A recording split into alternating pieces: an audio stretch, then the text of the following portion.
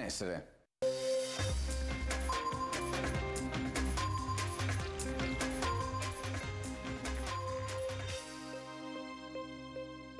TG Bassano, una buona serata a tutti voi telespettatori, siamo nuovamente in eh, diretta, in apertura vi diamo eh, tutti i dati relativi alla giornata eh, dell'ULS 7 Pedemontana. E allora vediamo assieme la tabella, i casi positivi. Sono 612, 378 dei quali nel distretto 1 Bassanese, 234 nel distretto Alto Vicentino. I tamponi eseguiti sui residenti sono 3.725, 3.204 negativi, i soggetti in sorveglianza attiva sono 1645, ricoverati a Bassano 23, 19 ad Asiago, 92 a Sant'Orso, 33 i decessi dall'inizio dell'emergenza, 10 dei quali a Bassano, 8 ad Asiago, 14 a Sant'Orso, 1 nella giornata odierna all'ospedale di comunità di Marostica. Si tratta di eh, una donna di 81 anni che ha perso, ha perso la vita nella giornata di oggi all'ospedale di comunità di Marostica. Un quadro ancora di emergenza piena e, e proprio in questo momento eh, così particolare eh, si sono innescate le parole del ministro Boccia per cui ha detto le, ragioni, le regioni da sole senza quindi l'intervento del governo sarebbero crollate. Parole che hanno provocato la reazione anche dello stesso governatore Zaia che ha risposto con i numeri alla mano. Sentirsi dire che se non c'è lo Stato saremmo tutti eh, a cartoni, decisamente no. Vi, vi, lascio uno schema, poi ognuno di voi lo leggerà come vuole, di cosa abbiamo chiesto, di cosa abbiamo avuto. E non sono uno che ha mai fatto polemiche.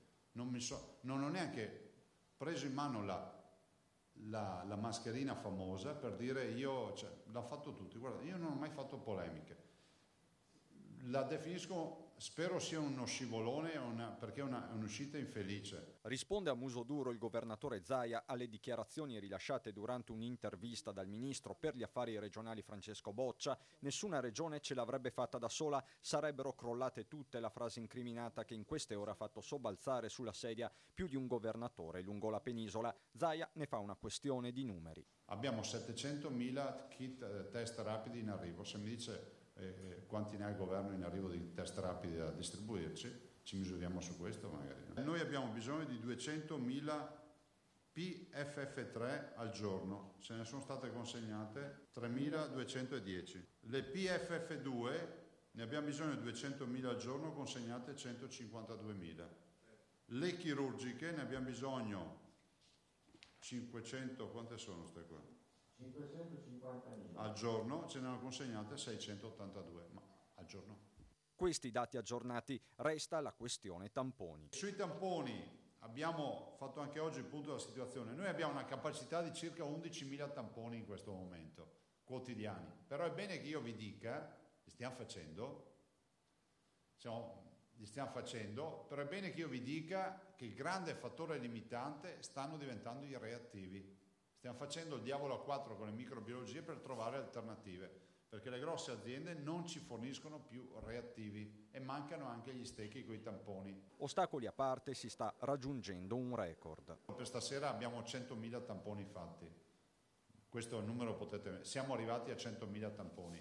Attenzione che non ne producevamo 11.000 al giorno prima, prima andavamo via molto a scartamento ridotto. Resta il nodo delle case di riposo con un maggior coordinamento tra regioni e le stesse strutture, spesso private. Adesso stiamo tentando anche, alla volta di domani penso ce l'avremo, eh, redigendo un nuovo piano, noi sapete che avevamo tutte le circolari direttive, cerchiamo di fare anche un nuovo piano ad hoc per le case di riposo, non escludendo, non escludendo, se fosse necessario, anche di prevedere lo spostamento di alcuni pazienti. Però dobbiamo capire nel piano cosa ne viene fuori, perché capite che i pazienti se li portiamo in ospedale è come portare uno da, da, dalla brace a, da, dalla griglia alla brace, cioè in ospedale è il posto meno indicato, in ospedale bisogna portare chi deve essere curato. Quanto alla tempistica dell'emergenza, Zaia ribadisce l'importanza dei prossimi giorni e la necessità di rispettare le regole. La prossima settimana sarà cruciale,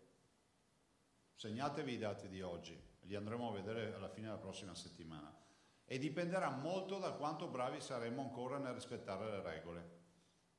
Rinnoverò l'ordinanza, non vi so dire in che termini, non vi so dire eh, ancora perché stiamo facendo delle valutazioni se ampliarla ad alcuni aspetti oppure no, però verrà rinnovata. E durante la nostra diretta di oggi, di questa domenica 29 marzo, vi abbiamo eh, riportato anche le dichiarazioni del Premier Conte in merito a quei 4,3 miliardi di euro per i comuni. Lo stesso Premier ha chiamato in causa i, i sindaci come sentinelle, ha detto, del eh, territorio. Una cifra però che eh, non può bastare a tutto il territorio veneto che ormai è in sofferenza da troppi giorni, da settimane. Allora eh, sulla questione eh, sentiamo un commento del direttore Luigi Bacialli.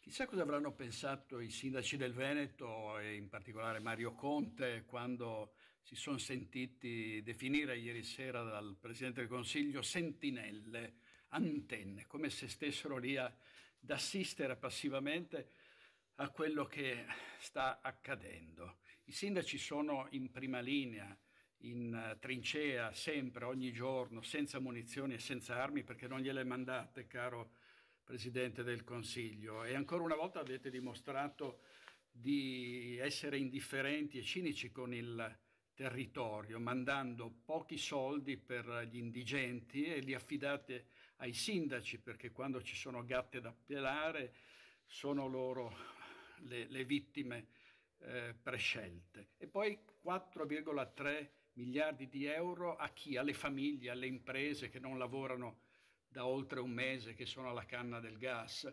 Vi sembra che possa bastare questo? in uno Stato che addirittura dovrebbe mandare le mascherine e i respiratori e non lo fa per questioni burocratiche con la Consip che ferma tutto questo materiale e non lo manda a destinazione. Ecco, questo è lo Stato centrale.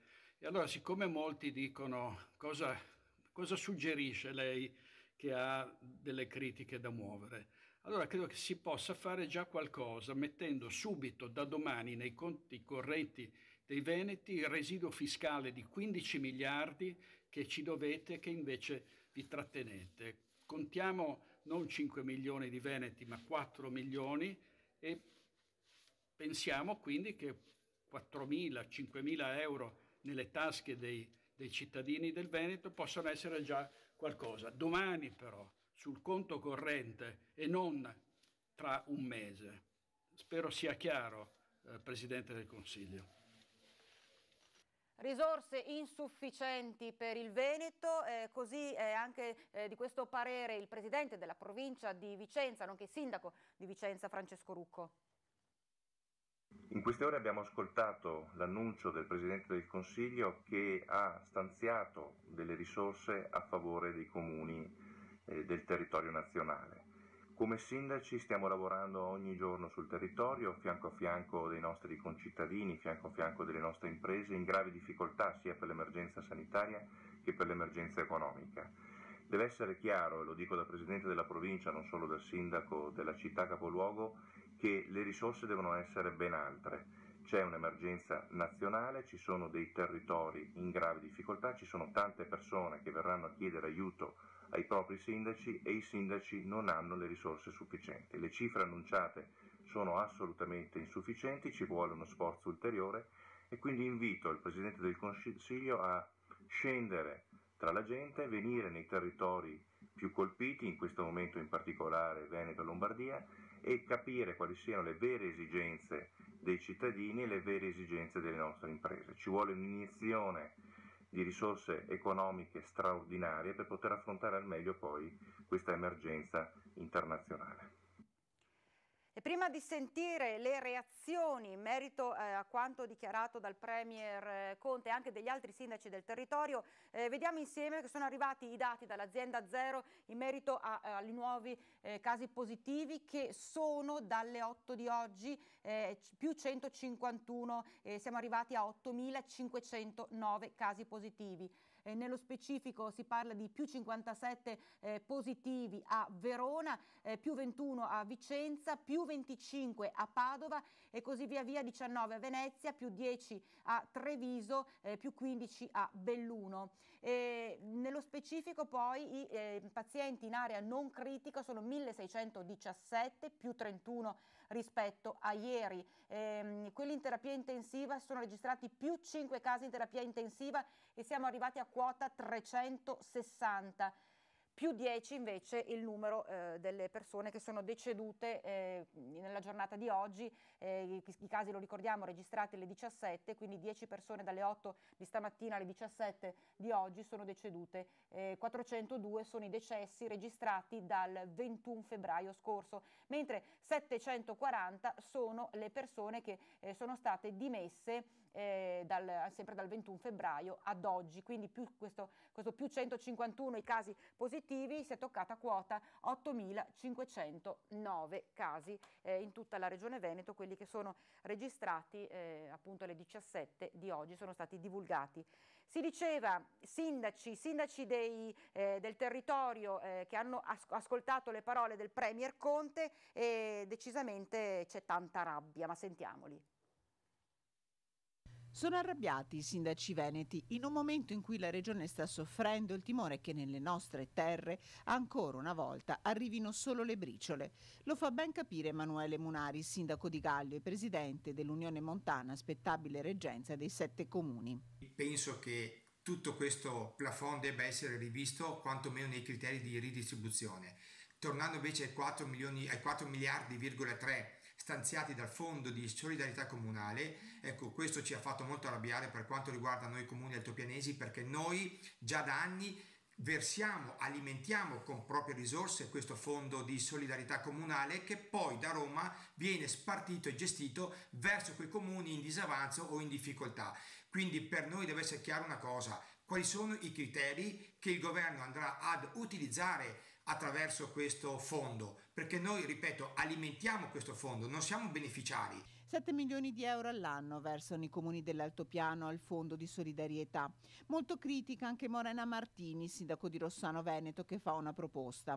Io chiedo al governo, se veramente vuole aiutare i cittadini e i comuni, di eh, fare una moratoria totale per i mesi di marzo, aprile, maggio, giugno, luglio, agosto, settembre, ottobre, novembre, dicembre 2020, perché non finirà in fretta, di tutti quelli che sono le, le bollette, magari mettendosi d'accordo con le agenzie, con le aziende di somministrazione di energia elettrica, di somministrazione eh, del gas, eh, eccetera, eccetera. Dal Fondo di solidarietà il Comune di Cittadella riceve 360 mila euro, troppo poco, spiega il sindaco, che chiede più coraggio al governo, interventi di sostegno economico simili a quelli messi in campo in Germania. Un intervento che purtroppo ai comuni serve a poco o nulla. Riusciremo ad aiutare eh, una manciata di famiglie dando a loro 300 euro una tantum, praticamente nulla, neanche un affitto di un mese di un, un appartamento. Non sono questi gli interventi che ci servono, ci servono degli interventi normativi importanti che riescono a liberare anche risorse che già ci sono all'interno dei comuni e poi risorse devono arrivare in più dallo Stato. E intanto continuano i controlli su tutto il territorio da parte delle forze dell'ordine, un centinaio le persone fermate dai carabinieri di Bassano, cinque le denunce per il mancato rispetto del decreto eh, in merito all'emergenza coronavirus e tra l'altro una denuncia anche per, per spaccio. Dovevano portare il cane a passeggiare a due chilometri da casa o lavare l'auto con gli autolavaggi chiusi. Sono le più diverse le scuse avanzate da quanti sono stati fermati e sanzionati nelle ultime ore dai carabinieri della compagnia di Bassano. Controlli estesi a tutto il territorio della compagnia, 100 le persone fermate, 5 quelle denunciate, con il 95% della popolazione che con le fatiche del caso rispetta queste misure urgenti.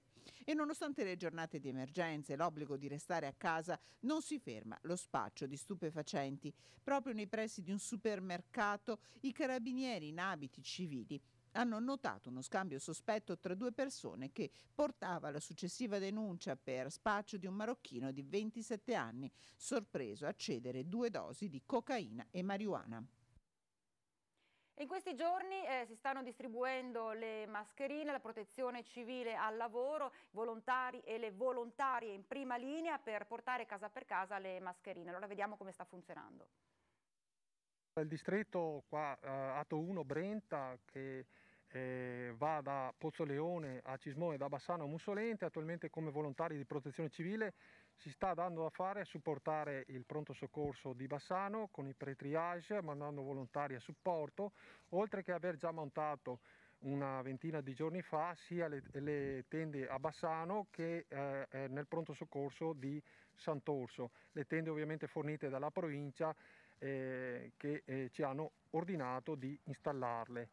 Adesso eh, a livello distrettuale ci stiamo anche muovendo supportando tutti i vari COC eh, nei vari paesi e anche qui a Bassano.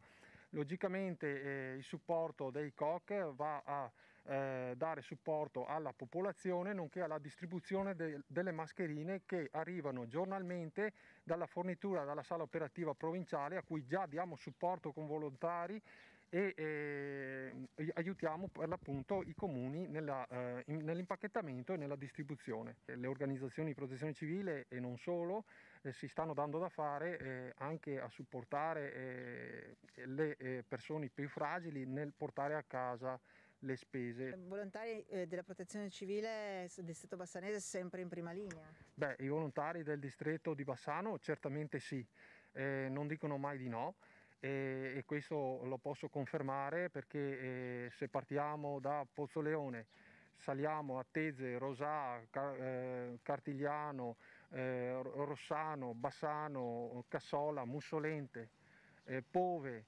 il nuovo comune di Valbrenta e Solagna sono tutti volontari che di certo non si arrendono di fronte a qualsiasi problematica.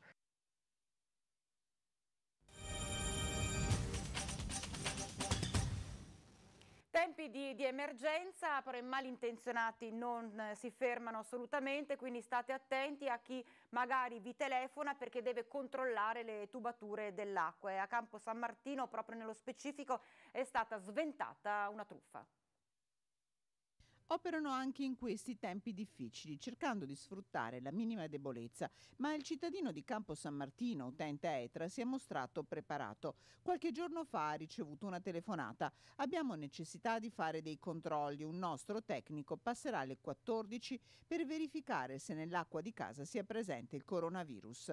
Per nulla impressionato, il cittadino ha contattato ETRA, che come da nota dell'Istituto Superiore di Sanità ha spiegato che non c'è nessun rischio per l'acqua distribuita dagli acquedotti. Si può bere quindi in totale sicurezza, invitando il cittadino a chiamare le forze dell'ordine.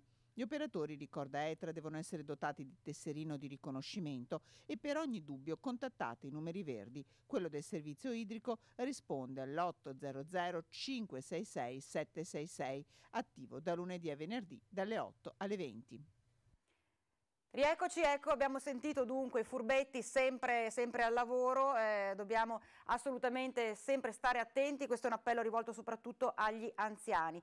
E un altro appello che vogliamo fare è quello di donare, donare eh, quello che si può, ognuno può dare il suo contributo per sostenere eh, Helios Onlus, l'associazione eh, degli imprenditori del Bassanese che sta lavorando, ha appunto attivato questo conto corrente per acquistare materiale, strumentazioni che andranno ad aiutare i nostri medici, eh, andranno ad aiutare i nostri ospedali per salvare vite umane. Di conseguenza, eh, chiarissimo, contribuisci all'appello appello per vincere insieme. Eh, l'intestazione Helios Associazione Liban lo state eh, vedendo e eh, basta, ognuno può dare quello che, che, che si sente, ognuno può eh, lasciare un proprio contributo per davvero ehm, dare un aiuto concreto ai medici che lavorano e agli infermieri che lavorano nei nostri ospedali, a cominciare proprio dall'acquisto eh, dei respiratori perché sappiamo benissimo che in questo periodo di emergenza eh, terribile un respiratore salva una vita umana. Ognuno può donare quello che si sente. Tra l'altro eh, voglio ricordare che eh, già eh, domani noi vi daremo conto, vi, eh, vi aggiorneremo eh, della quota che è stata raggiunta sino appunto all'ultimo momento, grazie, grazie al contributo di tutti voi. Quindi un appello forte che vogliamo fare attraverso le nostre telecamere per far sì che tutti insieme possiamo aiutare i nostri medici e il nostro ospedale concretamente. E ovviamente accanto a questo appello a donare a Helios Onlus c'è anche un altro grande appello che è quello che facciamo continuamente, restate a casa. Grazie per averci seguito, una buona serata.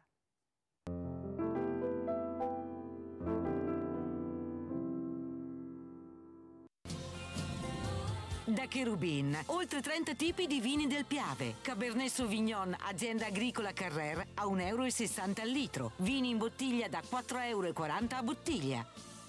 Benvenuti al meteo. Una massa d'aria fredda proveniente dal nord Europa causerà instabilità, calo termico e neve a bassa quota. La previsione è di lunedì 30 marzo.